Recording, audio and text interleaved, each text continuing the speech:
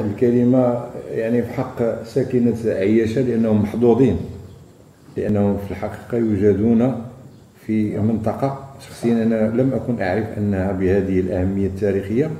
وفي الحقيقة ابتداء من هذا اليوم هم يتحملون على عاتقهم مسؤولية يعني خروج هذا هذا هذا الإرث التاريخي إلى إلى إلى الوجود. ماشي لأنه عار أنه مثلا يجوا ناس من خارج المغرب كيعرفوا هاد هاد المواقع التاريخية وما كنعرفوهاش حنا في المغرب. نعم، وفي منطقه الشمال. هذا بالنسبة لنا هذه هذه مسألة يعني غدرنا شي شوية. أنا بعدا شخصيا ضرني إنه يجيو ناس من برا يجيو من إسبانيا هما كيعرفوا الموقع أكثر من حنا كمغاربة وأكثر من حنا في منطقه الشمال. اذا آه، بالنسبة للموقع اشار الأخ البريري لهذا الموقع ديال المزوره ولكن هناك في هذه المداخلة كاين بعض التدقيقات آه، مزيان اننا نعمموها ونعرفوها آه، بعضنا البعض. يعني مزيد من من من التذكير بهذا بالأهمية ديال هذا الموقع. وفي نفس الوقت أنا أنا أنا بغيت أنه خاصنا ندير واحد المجهود على أساس أنه هاد هاد المواقع هذه وهذا الموقع اللي أنا غادي نتحدث عليه واللي تحدث عليه الأخ هو أنه في الحقيقة خصو يتصنف كتراث كتراث عالمي. يعني خصنا هذه المسألة هذه أننا لأنه هذا الشيء هذا يعني يعني لأنه كاينة مواقع اللي هي الآن كتصنف كتراث عالمي ليست بهذه الأهمية. آه. وبالتالي إحنا على العاتق هنا اننا هذا الموقع هذا مثلا الموقع ديال مزورة والمواقع الملحقة به في المنطقة أنها خصها تصنف عالميا كتراث عالمي في المنطقة. اذا بالنسبة للموقع الأركيولوجي وتد مزورة هو كموقع تاريخي يسمى وتد مزورة يقع في قبيلة مزورة تابعة لمنشرة الشواهد ويعود أصل تسمية مزورة للكلمة الأمازيغية. أزرو وتعني الحجرة وجمعها يزران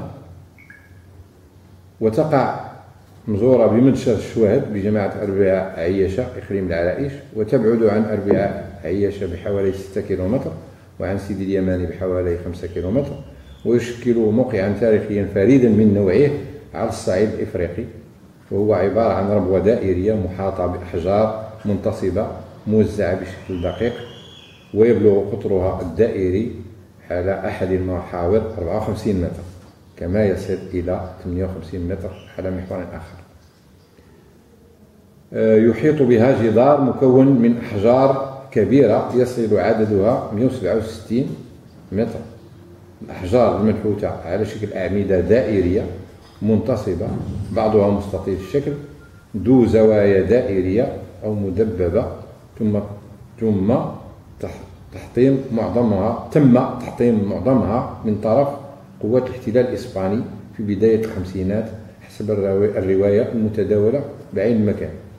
وشهدت المنطقة توافد عدة أركيولوجيين من إسبانيا وفرنسا وبريطانيا إلا أنهم لم ينشروا سوى خرائط للمكان الذي يعود لما قبل التاريخ وبالضبط للفترة النحاسية. مع الإشارة إلى أن المنطقة عرفت التبادل التجاري مع الفينيقيين قبل تأسيسهم لمدينة قرطاجة قبل أن يمتد نفوذهم لشمال إفريقيا. ويتراوح طول الأوتاد ما بين متر ونصف وخمسة أمتار وتميل مختلف الدراسات المنجزة عن الموقع الذي يؤرخ لثقافة عريقة عاشت في أوروبا وبالضبط في منطقة بروطان لا بروطان غرب فرنسا. وحسب الدراسات الأركيولوجية فإن تاريخ هذه الأوتاد يعود إلى مرحلتين. المرحلة الأولى وتؤرخ ب 1600 قبل الميلاد أو ما يسمى بفترة ما قبل التاريخ وتعرف أيضا بالفترة النحاسية وكانت وظيفتها الأحجار أو الشواهد أو الوتد حسب فرضية الباحثين.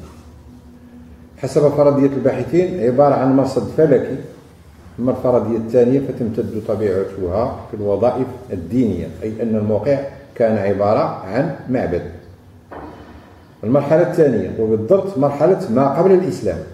إذا المرحلة الأولى المرحلة الثانية بالضبط هي مرحلة ما قبل الإسلام حيث عرفت إضافة ربوة مكونة من التراب والحجارة داخل دائرة المسلات وكانت وظيفتها عبارة عن قبر تلي شكل متوى لقائد أو زعيم محلي.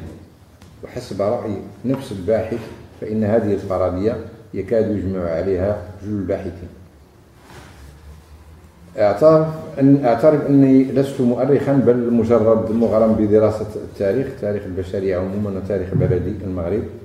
ورجاء المؤرخين والأركيولوجيين الاهتمام بدراسة هذا الجزء من تاريخ المغرب والبشرية وتسليط مزيد من الضوء عليه ومدى ارتباطه بنفس الأوتاد الموجودة بمنطقة في منطقة برومانيا بالغرب الفرنسي وتلك الموجودة بتركيا بتركيا. هنا بعض الصور هنا لهذا الموقع الصخور الضخمة. أو الميغاليت. Zohra es una.